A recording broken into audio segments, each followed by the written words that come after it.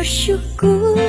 Kini ku dengar isi hati Menjadi pribadi Muslimah sejati. Walaupun aku tahu Ini proses bagiku Berakhlak karena Allah Bukan karena hijabku.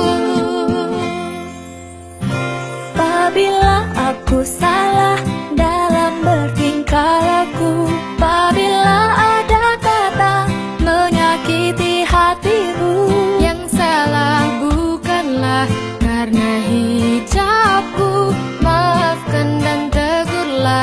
Bijakku tiada salah.